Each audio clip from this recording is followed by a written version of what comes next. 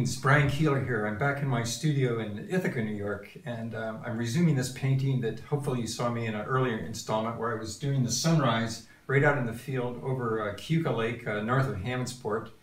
And the painting that you see on my easel is the, the same one. I've uh, spent quite a bit of time, though, uh, painting it and uh, finishing it up. And I'm just doing some final touches here today, and I'll just sort of restate uh, what I've already done just to affirm the uh, decisions that I made early on that day. But the important thing was that I got everything established. It has a nice uh, composition, a very uh, cohesive uh, figure-ground relationship, which means the relationship between light and dark. And all that was established, uh, you know, in the first uh, 20 minutes, half hour out there in the field over um, beautiful Keuka Lake. And I'm just going to restate some of the things that I talked about there, this relationship between the bales of this nice uh, triangulation that I mentioned. The eye level is uh, right about here, and that's key in uh, whenever you're doing architecture because you have to uh, think about the, um, the vanishing points and the uh, orthogonals and where these uh, lines of the buildings and the windows and so forth all kind of need to line up properly. I was far enough away from the barn that everything's kind of going on a horizontal level in the same way that the house is and as I mentioned, the, uh, the uh, uh, uh perspective was uh, quite key in that respect. So you can come in close here, maybe point down to my palette here for a second.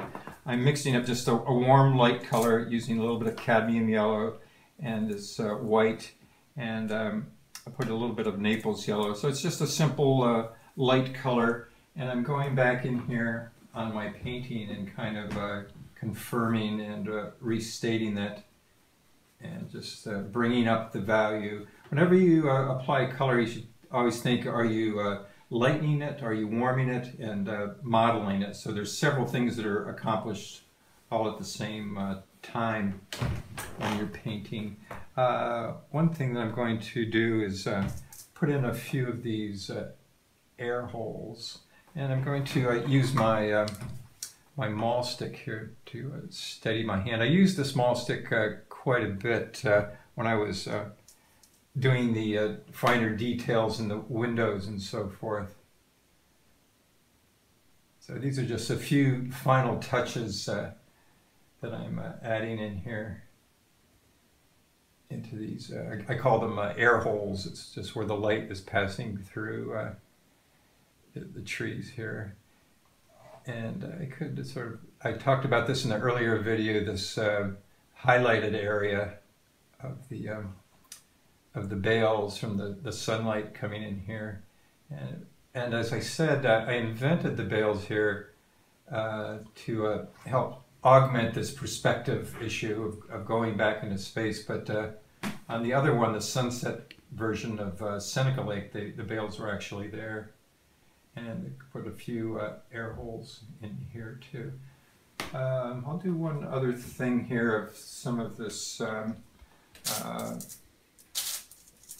uh, light that's coming through here, just to kind of uh, bring that out a little bit more. I had this sort of beam of light here, just kind of understate it, not do it too much, but uh, there was some uh, of this kind of effect here.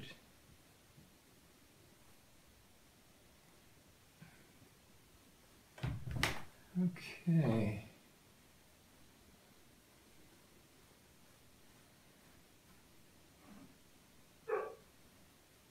So, um, as I said, the painting was pretty much uh, done when I when you uh, started when you first saw me here today.